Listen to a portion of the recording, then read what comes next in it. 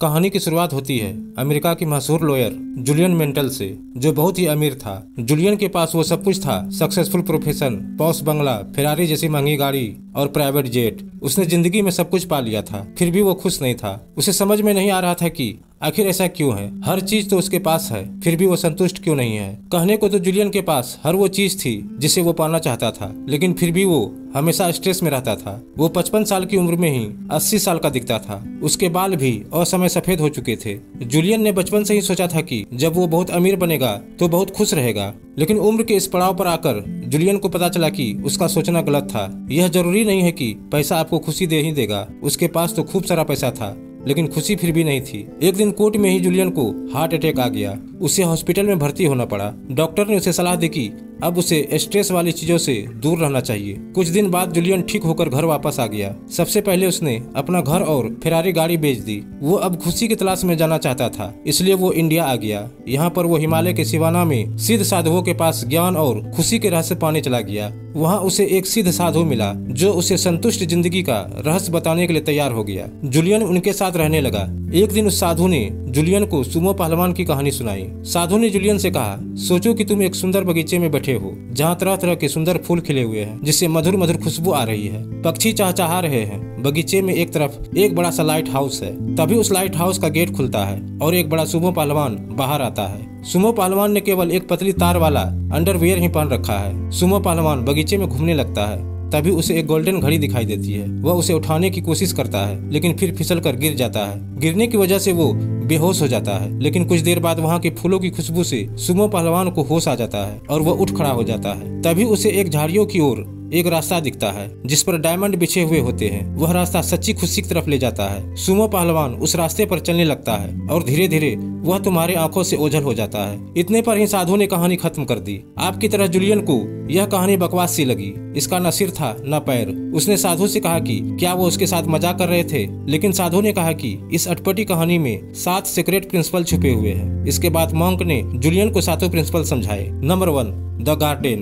कहानी में जो बगीचा है, वो हमारे दिमाग को दर्शाता है। अगर हम बगीचे में अच्छे बीज डालेंगे तो हमें अच्छे फल देने वाले वृक्ष और खुशबूदार फूल मिलेंगे। लेकिन अगर गंदगी डालेंगे तो दुर्गंध आएगी। बगीचा गंदगी का ढेर बन जाएगा। इसलिए हमेशा आप भी अपने दिमाग में अच्छा और पॉजिटिव बातें डालें। दूसरों के लिए दया, सहानुभूति और हेल्प के विचार ही ब्रेन में पाले। इससे आपका ब्रेन एक सुंदर बगीचे सा महकता रहेगा। इससे आपको सच्ची खुशी और पीस ऑफ़ माइंड मिलता रहेगा। कभी भी नेगेटिव ना सोचे, बुरे विचारों से दूर रहे। ईर्ष्या, जलन, बदले और गुस्से के विचार कभी भी दिमाग में न लाए, क्योंकि इनसे आपका दिमाग कूड़े का ढेर बन जाएगा।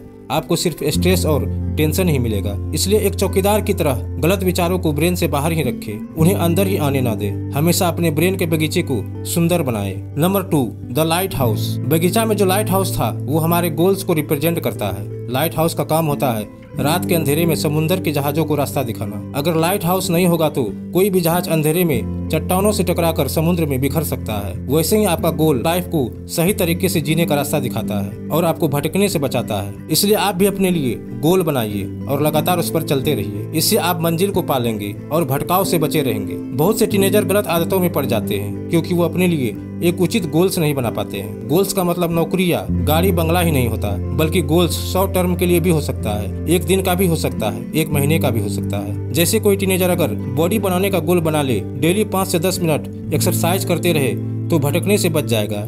क्योंकि अब उसके पास गोल्स है, जो उसे लाइट हाउस की तरह रास्ता दिखाता रहेगा। वह किसी भी बुरी आदत में फंसने से बच जाएगा। इसलिए अपने लिए उचित गोल बनाइए और उसे फॉलो करिए। नंबर थ्री सुमो रेस्टलर दोस्तों लाइट हाउस से जो सुमो पहलवान निकल कर आता है, वो एक काइजन का प्रतीक है। काइजन एक जापानीज परंपरा है, जिसका मतलब है कभी नहीं रुकने वाली इम्प्रूवमेंट या प्रोग्रेस आपने कभी सोचा है कि सुमो पहलवान इतने भारी भरकम कैसे हो जाते हैं और इतने अच्छे पहलवान कैसे बन जाते हैं? क्योंकि वे काइजन के डिसिप्लिन को फॉलो करते हैं। एक निश्चित डाइट लेते हैं और हर दिन कुछ न कुछ नया सीखते हैं। ऐसा नहीं करते हैं कि एक दो महीने तो जमकर प्रैक्टिस की और छह महीने कोई अता पता नहीं। सुमो रेस्टलर थोड़ी ही सही, लेकिन हर दिन प्रैक्टिस करते हैं। अगर आप हर दिन दस मिनट भी एक्सरसाइज करेंगे तो एक साल बाद आपकी बॉडी में बहुत ज़्यादा फ़र्क नज़र आने लगेगा। आप यंग दिखेंगे, वेट लॉस होगा, बॉडी स्लिम और टोन्ड हो जाएगी। इसलिए आप भी अपने लाइफ में काइजन टेक्निक को अपनाकर हमेशा कुछ नया सीखे और हर दिन कुछ न कुछ सीखते रहे। थोड़ी थोड़ी इम्प्रूवमेंट लाते रहे और सेल्फ मोटिवेशन बुक्स पढ़ते रहे।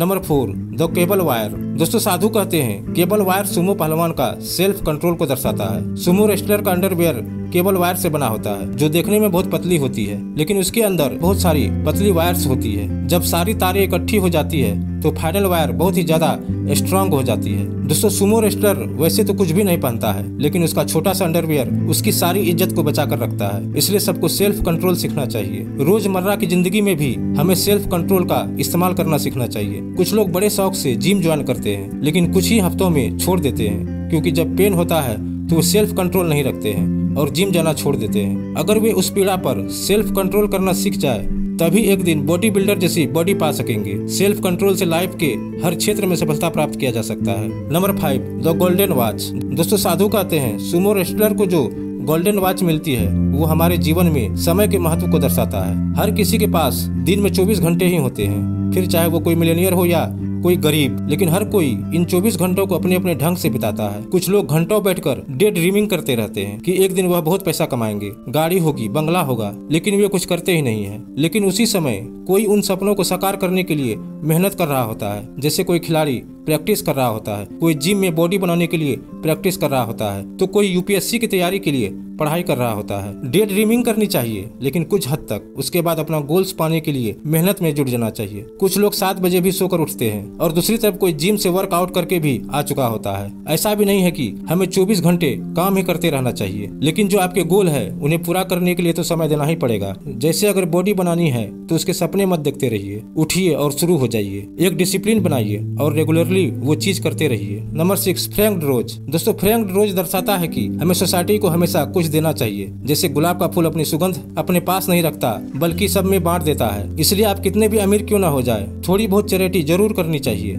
इससे केवल दूसरों का ही भला नहीं होगा, बल्कि आपको भी बेहद खुशी मिलेगी। आपके अंदर से आवाज़ आएगी कि आप एक अच्छे इंसान हो, और आपका दिल प्रसन्नता से भर उठेगा। एक कहावत भी है, जो दूसरों को गुलाब का फूल देता है, उसके हाथों में भी गुलाब की खुशबू रह जाती है। अगर आपके पास देने के लिए पैसे नहीं है तो आप लोगों को रिस्पेक्ट और काइंडनेस तो दे ही सकते हो।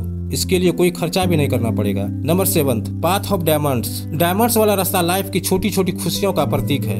सबके जीवन में छोटी छोटी खुशियाँ होती है, जो वास्तव में डायमंड्स जैसी होती है। लेकिन अज्ञातनवश, हम उन पर ध्यान ही नहीं देते हैं। हम कभी प्रेजेंट में नहीं जीते, बस पास्ट की असफलताओं पर अफसोस करते रहते हैं, या फ्यूचर की चिंताओं में उलझे रहते हैं। डायमंड पाथ हमें बताता है कि प्रेजेंट में जीना सीखो, और डायमंड्स जैसी खुशियाँ, जो आपके चारों ओर बिखरी है, उन्हें एंजॉय करना सीखो। इन खुशियों के हज़ारों, लाखों एग्ज़ाम्पल हो सकते हैं। जैसे माँ के साथ बैठकर बातें करना, बच्चों के साथ खेलना सॉन्ग्स सुनना अच्छी किताबें पढ़ना, बगीचे में फूलों को देखना, दोस्तों के साथ चाय पीना वगैरह। इस तरह आप हर दिन हर पल खुशी ढूंढ सकते हैं। तो दोस्तों, पास्ट और फ्यूचर की चिंता छोड़ो और प्रेजेंट के डायमंड पाथ पर खुशी से चलते रहो। तो इस तरह एक अनोखी कहानी के ज़रिए उस शिवाना मोंक ने जुलियन को ज़िंदगी जीने के ये सात प्रिंसिपल बताए, जिनके बाद जुलियन वापस घर लौट गया। अब वह उन सातों नियमों का पालन करने लगा। इससे उसे जीवन की सच्ची खुशी हासिल हो गई। अब उसके चेहरे पर हमेशा मुस्कान रहने लगा था। वह बहुत यंग और हेल्दी भी दिखने लगा था। उसे दोबारा कभी स्ट्रेस और डिप्रेशन भी नहीं हुआ और उसकी बाकी की सारी ज़िंदगी